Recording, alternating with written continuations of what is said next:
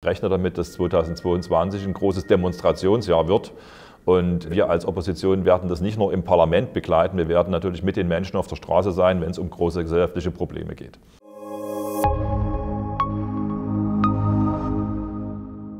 Das neue Jahr begann direkt mit einem Paukenschlag hier im Sächsischen Landtag und damit herzlich willkommen zu unserem ersten Video im neuen Jahr hier.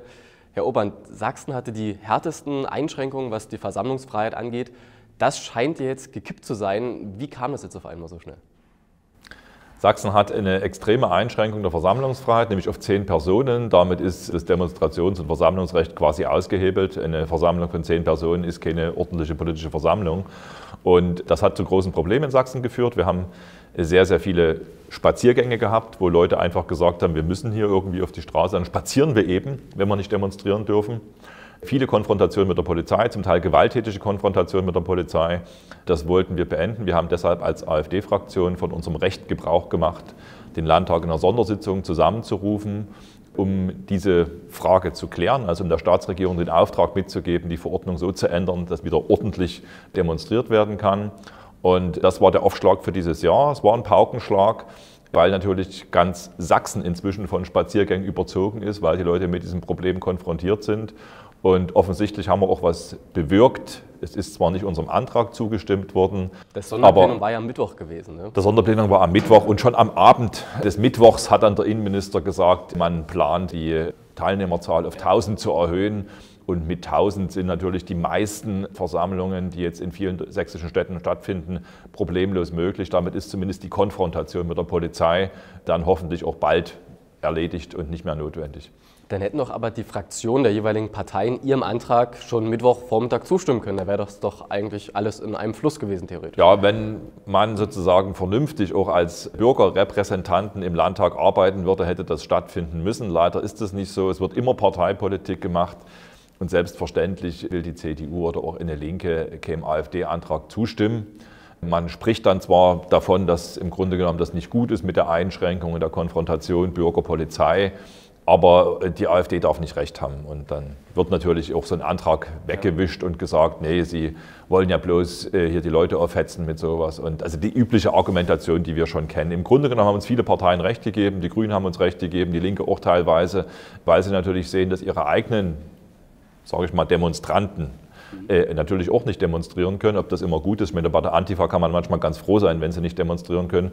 Aber da gibt es natürlich auch Eigeninteressen und ich sage mal so, ich bin da auch Demokrat genug, um zu sagen, egal ob jemand für linke gesellschaftliche Vorstellungen demonstriert oder für bürgerliche, ja. die haben alle das Recht zu demonstrieren und das ist ein so hohes Gut für unsere freiheitlich-demokratische Grundordnung, dass man das nicht ohne Not einschränken darf. Und das wurde eben, sage ich mal, ohne Not eingeschränkt, weil natürlich inzwischen allgemein bekannt ist, dass das Infektionsgeschehen im Freien gegen Null geht. Also es bestätigen ja auch Wissenschaftler regelmäßig, dass man sich auf der Straße an der frischen Luft so gut wie gar nicht anstecken kann und deswegen ist diese Einschränkung grundgesetzwidrig aus unserer Sicht und offensichtlich haben wir ja auch ein bisschen was ins Rollen gebracht.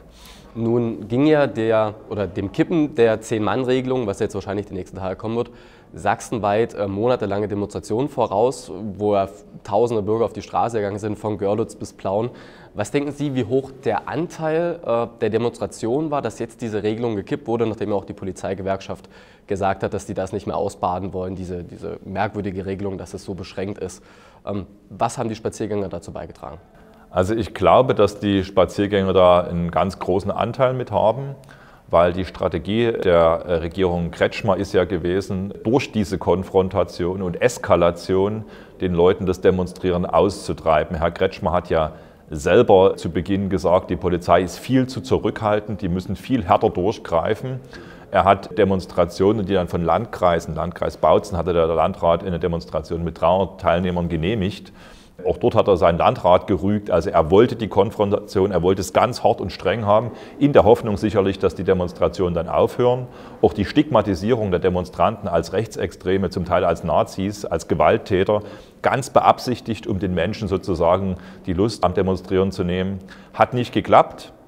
Es sind in Dutzenden sächsischen Städten regelmäßig Spaziergänger unterwegs gewesen und damit hat wahrscheinlich die Regierung nicht gerechnet und jetzt ist sie eingeknickt, weil sie natürlich doch Angst kriegt mittlerweile, dass eben ein sehr breites Publikum, eben auch sehr bürgerlich, junge, alte, zum Teil mit Kinderwagen auf der Straße sind. Sie haben es nicht äh, eindämmen können und jetzt knicken sie ein und das ist auch gut so, weil die Demonstrationen, die gehören halt zu unserer politischen Debatte dazu. Die wollen wir haben und wir haben sie jetzt durchgesetzt. Also laut Medienberichten verstoßen ja diese Spaziergänger gegen geltendes Recht, gegen die geltenden Corona-Verordnungen. Waren Sie da als Fraktionsvorsitzender bei den Spaziergängen dabei und wenn ja, wo? Ja, also ich bin bei äh, Spaziergang dabei gewesen, zum Beispiel in Bautzen, zum Beispiel in Ottendorfer Griller jetzt kürzlich erst. Und es gibt zwei Aspekte. Der eine Aspekt ist, ich denke, als Volksvertreter sollten wir tatsächlich auch ein Auge darauf haben, was im Land passiert. Also als parlamentarische Beobachter können wir und sollen wir bei solchen Dingen auch dabei sein.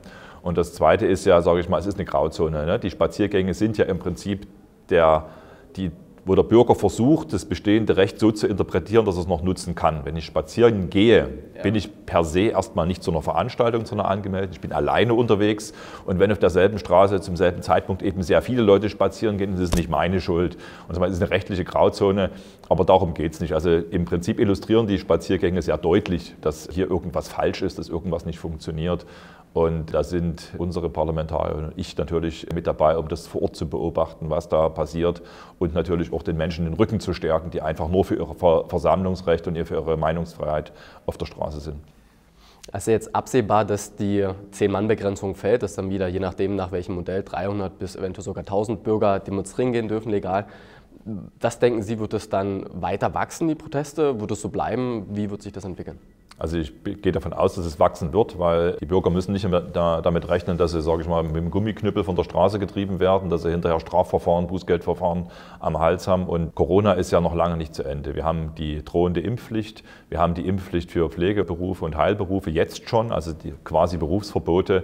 Das Problem ist nicht gelöst und das wird die Leute auf die Straße treiben. Und wir dürfen auch nicht vergessen, wir haben ganz neben Corona ja viele andere Probleme, Migration, Altersarmut, Inflation, Energiepreise die nicht gelöst sind, die eher größer werden. Also ich rechne damit, dass 2022 ein großes Demonstrationsjahr wird. Und wir als Opposition werden das nicht nur im Parlament begleiten, wir werden natürlich mit den Menschen auf der Straße sein, wenn es um große gesellschaftliche Probleme geht.